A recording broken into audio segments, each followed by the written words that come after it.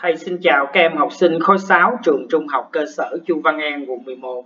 Hôm nay thầy sẽ cùng với các em ôn lại những kiến thức trọng tâm để chúng ta cùng nhau kiểm tra cuối học kỳ 2 cho tốt nhé. Đầu tiên đó chính là phần nội dung giới hạn ôn tập. Các em phải ôn tập từ tuần 1 đến hết tuần 12 của học kỳ 2. Về tri thức đọc hiểu, các em tập trung ôn các chủ đề của bài 8 và 9, những góc nhìn cuộc sống và nuôi dưỡng tâm hồn. Về tri thức tiếng Việt, các em sẽ chú ý ôn lại các kiến thức đã học từ bài số 6 đến bài số 9. Về cấu trúc đề thì cũng giống như những kỳ kiểm tra trước, nó sẽ gồm có hai phần. Phần thứ nhất là đọc hiểu, các em phát hiện kiến thức của văn bản tiếng Việt à, bao gồm có kết hợp giữa trắc nghiệm với tự luận là 6 điểm. Phần thứ hai là phần viết 4 điểm. Sau đây là nội dung chi tiết. Về phần văn bản, ngữ liệu sẽ được chọn là ngoài sách giáo khoa, sẽ liên quan đến các kiến thức về đặc điểm thể loại truyện hoặc nghị luận. Chú ý các em nhận biết được đề tài, chủ đề, nhân vật, thông hiểu được ý nghĩa chi tiết, nội dung, nghệ thuật, nhan đề. Nếu là văn nghị luận, các em cần quan tâm đến ý kiến, lý lẽ và dẫn chứng nữa. Các em phải vận dụng viết được đoạn văn từ 3 đến 5 câu để trả lời các câu hỏi liên quan đến ngữ liệu trên đề như là thông điệp hoặc là bài học rút ra hay là hướng hành động. Về tiếng Việt, các em phải ôn những bài như là dấu ngoặc kép đã học nè, hay đặc điểm chức năng của văn bản, đoạn văn, từ đa nghĩa, từ đồng âm, từ mượn, yếu tố Hán Việt hay lựa chọn cấu trúc câu và tác dụng nhận biết để gọi tên một đơn vị tiếng Việt có trong đoạn ngữ liệu, thông hiểu được công dụng và đặc biệt là vận dụng để đặt câu. Về phần viết, các em sẽ viết bài văn, nghị luận, nêu suy nghĩ của em về một hiện tượng trong đời sống.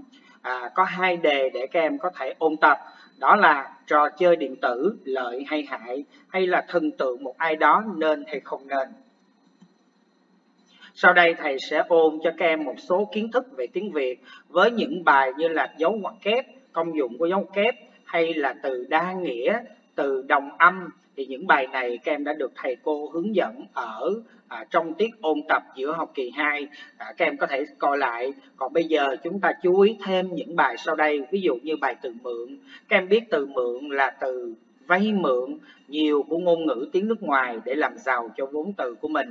Thì các em chú ý có hai dạng từ mượn. Một là từ mượn từ tiếng Hán hai là từ mượn từ ngôn ngữ khác ví dụ như Anh Pháp và Nga về yếu tố Hán Việt các em chú ý những cái dạng bài tập, ví dụ như yêu cầu các em hãy ghép các yếu tố Hán Việt sau đây để tạo thành một cái từ ghép. Ví dụ như từ hải ta có hải sản, hải quân, thủy thì chúng ta có thủy sản, thủy lợi, có nghĩa là nước đó các em gia có nghĩa là nhà các em có thể ghép thành gia đình, gia tộc hay là gia sản.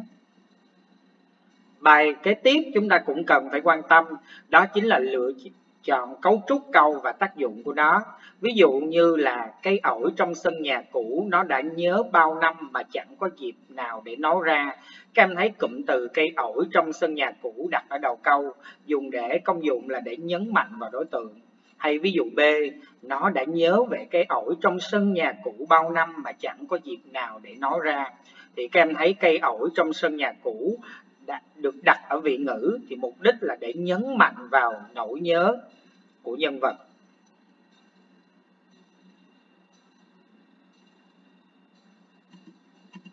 Ví dụ 2 câu C, ông nội bắt chiếc ghế đậu ra sân trong chừng lũ trẻ em thấy là đây là câu có một chủ ngữ và có hai vị ngữ.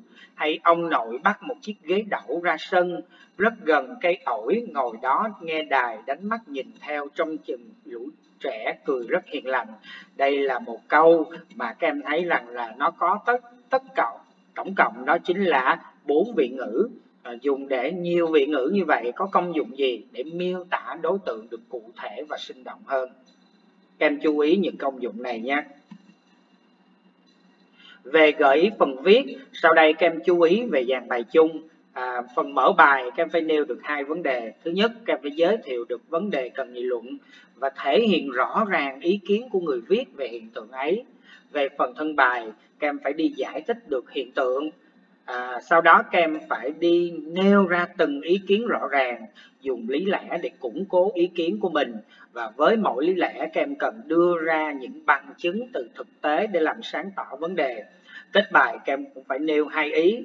Thứ nhất đó là các em khẳng định lại vấn đề và phải đưa ra thứ hai các em phải đưa ra những đề xuất của mình sau đây là một số phần gợi ý. Ví dụ như đề 1 trò chơi điện tử lợi hay hại, mở bài, chúng ta cũng phải nêu được cái hiện tượng trò chơi điện tử đang được rất nhiều người thu hút tham gia, đặc biệt là học sinh. Vậy nó có lợi hay hại? Đây là một vấn đề còn rất nhiều ý kiến trái chiều nhau. Phần thân bài các em phải giải thích ngắn gọn trò chơi điện tử là gì. Sau đó các em phải nêu được hai ý kiến. Thứ nhất là mặt lợi của trò chơi điện tử như gợi ý trên màn hình nhưng để thuyết phục hơn các em phải nêu được bằng chứng cụ thể. Ý kiến hai các em phải nêu được mặt hại của trò chơi điện tử. Trên màn hình cũng đã gợi ý cho các em một số mặt hại của trò chơi điện tử. Tuy nhiên các em cũng cần phải nêu ra bằng chứng cụ thể rõ ràng để thuyết phục. Kết bài các em phải nêu được cái khẳng định vấn đề. Đây là trò chơi mang nhiều lợi ích, nhưng cũng có, phải chơi có chừng mực bởi vì nếu không sẽ dễ gây nghiện và gây ra rất nhiều tác hại. Các em cũng nêu ra được những cái đề xuất những cái giải pháp khả thi để chúng ta có thể là một trong những người chơi trò chơi điện tử à, vừa giải trí nhưng mà nó cũng đem lại nhiều lợi ích cho chúng ta. Với đề thứ hai là thần tượng một ai đó nên hay không nên thì mở bài các em cũng phải nêu được hai ý. Các em phải giới thiệu được à, vấn đề cần nghị luận thần tượng một ai đó hiện nay là một phần không thể thiếu trong đời sống hiện đại đây không chỉ là hiện tượng giải trí, mà nó còn là một hình thức để tìm kiếm nguồn động viên, sự sáng tạo và đôi khi là nguồn cảm hứng để phát triển bản thân Tuy nhiên, câu hỏi đặt ra là liệu việc thần tượng có nên được khuyến khích hay không và liệu nó có mang lại lợi ích tích cực cho cá nhân và xã hội hay không? Thân bài các em cũng phải đi giải thích ngắn gọn thần tượng là gì.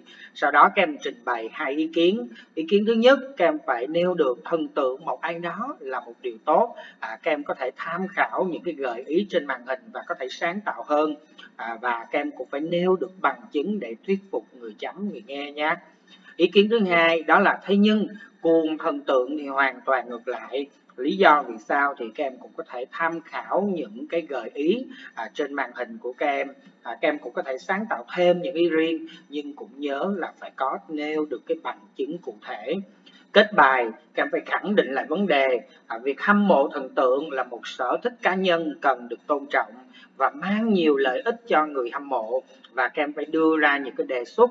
Tuy nhiên nếu ngưỡng mộ thần tượng một cách quá mức thì nó sẽ gây ra nhiều tác hại. Chính vì vậy các bậc cha mẹ có con cái trong độ tuổi vị thành niên cũng cần hết sức lưu tâm đến vấn đề quan tâm đến thần tượng của các con. Ngoài ra các em có thể tham khảo và đưa ra thêm nhiều cái đề xuất khả thi khác các em nhé À, thầy sẽ có một số nhắc nhở khi các em làm bài kiểm tra. Học sinh cần thực hiện nghiêm nội quy khi làm bài kiểm tra. Không được bỏ giấy trắng nha các em, không gạch xóa, bôi bẩn. Các em mới giữ được bài kiểm tra sạch đẹp, chữ viết phải rõ ràng. Các em cũng phải điền được thông tin đầy đủ vào bài kiểm tra và đặc biệt một ý rất quan trọng mà thầy cô muốn nhắc nhở các em là phần trắc nghiệm. Các em phải trả lời vào trong giấy làm bài.